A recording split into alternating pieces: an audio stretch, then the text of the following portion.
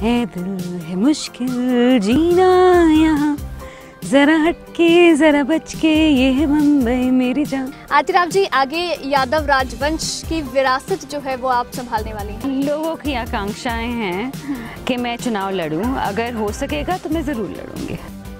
मैं बेटी हूँ मैं मिलिए आरती राव से। शनिवार शाम सात बजकर अट्ठाईस मिनट पर सिर्फ़ खबरें अभी तक पर।